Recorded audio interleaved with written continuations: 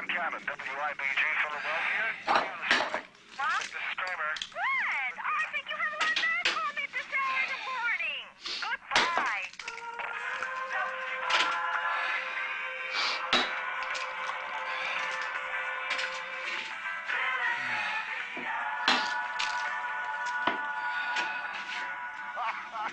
Man, this is Kramer are up, and it's a good morning. Boy, I tell you, I need something to snuggle with. 28 degrees. It's cold out there. Well, we deserve it. We've been getting away with murder for the last couple of weeks.